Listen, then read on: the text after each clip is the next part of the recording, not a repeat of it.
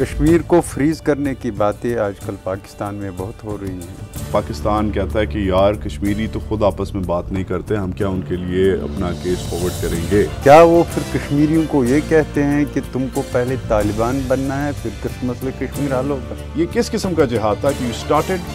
and then you stopped Islamabad में ईद के दिन एवाज almost declared dead informants trace किए के खिलाफ ऐसे चीफ मेरा प्रोफाइल नहीं बना सकता है